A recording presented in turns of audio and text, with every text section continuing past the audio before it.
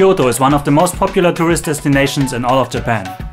Its history, where to go, what to eat and more, right after the intro.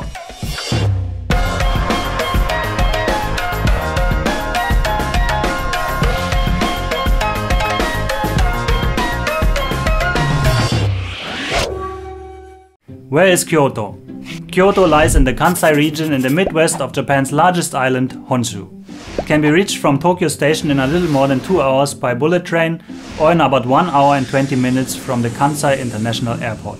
Before we get into what to do in Kyoto, let's take a quick look at the city's history. In 710, the city of Heijo Kyo, today's Nara, became the capital of Japan, which marked the beginning of the Nara period. In 784, the capital was moved to Nagaoka Kyo, and only 10 years later, in 794, to Heian Kyo, which is today known as Kyoto. This move initiated the Heian period and Kyoto's history as the capital of Japan. Because Buddhist monks had gained too much political influence in the former capitals, Buddhist temples were originally banned from the inner city area of about 23.4 square kilometers. During the Onin War from 1467 to 1477, in which two clans fought viciously in and around the capital city, most of it was devastated.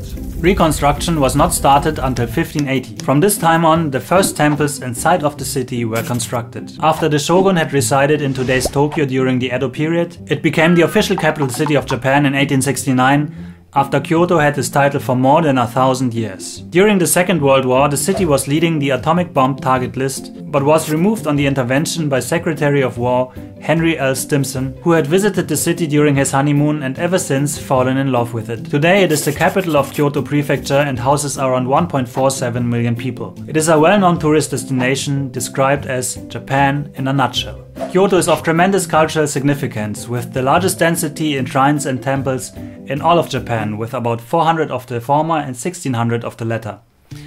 Some popular destinations are Kiyomizu-dera, a shrine with a 13 meter high stage. Jumping off the stage is said to grant a wish should you survive. Of the 234 recorded jumps taken in the Edo period, a whopping 85.4% survived. Based on this practice, the expression to jump off of the stage at Kiyomizu is the Japanese equivalent to the English to take the plunge. Jumping from the stage was forbidden in 1872. Kinkakuji, the temple with the golden pavilion, a three-story building whose top two floors are covered in gold leaf. I think it looks especially stunning when covered in snow.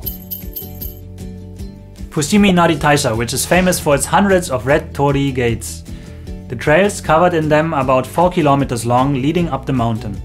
A new gate costs between about 4,000 to $10,000 to create and each of the more than thousand of them have been donated by a Japanese business. Due to the shrine's popularity, it is estimated to have about 32,000 sub-shrines all over Japan. It is recommended to come for a visit early in the day before the masses of tourists arrive. Nijo Castle, a flatland castle completed in 1626. It was used as the Kyoto residence of the shoguns during the Tokugawa period and will give you an impression of the simplistic lifestyle of the Japanese rulers during the feudal age. And many, many more. Some of the aforementioned are also part of the UNESCO World Heritage Site Historic Monuments of Ancient Kyoto. Now that you know where to go, when is the best time to go? Kyoto can be visited at any time of the year. That being said, the summer months will be hot and humid, especially July and August. Like most parts of Japan facing the Pacific coast, typhoons can be expected in September to October. During the winter months, you will occasionally experience snowfall. The cherry blossom starts in the middle of March, bringing spring, but also lots of tourists. Different but equally beautiful are the autumn colors. The foliage season starts from around mid-October with its peak in mid-November, finishing mid-December. Humans can't live off attractions alone. So, what should you eat in Kyoto? Kaiseki ryori is Japanese multi-course haute cuisine. Kyo kaiseki is Kyoto's take on the matter and includes local and seasonal ingredients. Shojin ryori is based on the diet of Buddhist monks. It stands out by being strictly vegetarian, which is still rare to find in Japan today. Kyoto's famous tofu will be used for the meals and the Arashiyama area of the city is particularly well known for them. Obanzai ryori is Kyoto-style home cooking. Often simpler to prepare than kaiseki ryori, it also features seasonal ingredients and is considered to be Kyoto's soul food. As for food souvenirs, The Uji area in Kyoto Prefecture is famous for its fantastic green tea. Therefore green tea and matcha and green tea products can be purchased throughout the city. For example, Kyobaum is the city's version of Baumkuchen, which of course includes matcha. Yatsuhashi is another typical souvenir made from rice flour, sugar and cinnamon. Its recipe hasn't changed since its invention in 1689. Nama yatsuhashi or raw yatsuhashi is sweet red bean paste wrapped in the not baked but steamed dough of yatsuhashi. It goes especially well with, you guessed it, green tea. Ajari mochi is one of Kyoto's more representative wagashi, or Japanese sweets. It consists of a rice flour and egg based dough on the outside and a red bean paste filling. According to legend, this kind of mochi was used by monks to escape starvation during particularly brutal training. And then of course, there are also limited edition Kyoto only Kit Kats. Despite its temples, shrines and food, Kyoto also offers a variety of festivals. The three most famous ones are The Gion Matsuri is a festival with more than 1000 years of tradition. Held in the Gion district every year in July, it features a variety of floats up to 25 meters in height. It is one of the most famous festivals in all of Japan. The Aoi Matsuri is said to have originated during the reign of Emperor Kinmei. The purpose of this festival is to offer hollyhock, or aoi in Japanese, to the gods to prevent disasters. During the event, more than 500 people dressed in the aristocratic style of the Heian period make their way from the Kyoto Imperial Palace to the north of the city. It is held every year on the 15th of May. The Jidai Matsuri is the festival of the ages. Held on October 22nd, more than 2000 people dressed in costumes representing the different areas of Kyoto's more than 1200 years of history parade through the city. Now of course Kyoto isn't small, so you need a way to get from A to B. Unlike other cities like Tokyo, trains are not the transportation method of choice.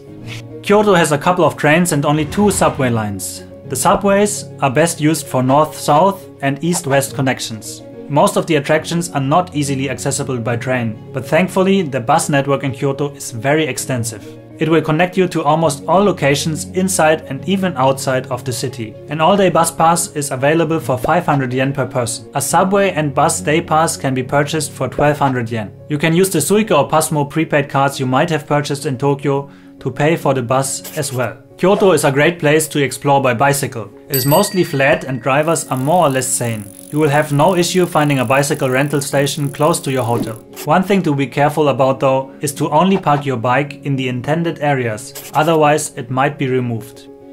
I personally like getting around by bus the most, it probably has the best cost performance.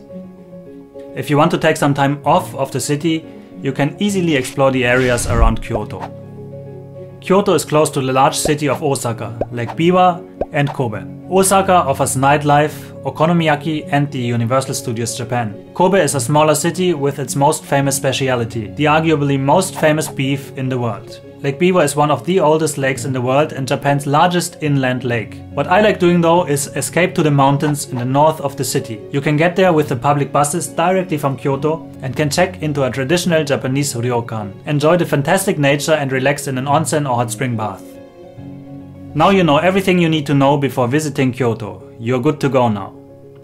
I hope you enjoyed this video. It really took a long time to make, so I would appreciate if you could help it reach more viewers, be it by liking, commenting down below, or even sharing it with your friends. For now, thank you for watching and see you next time.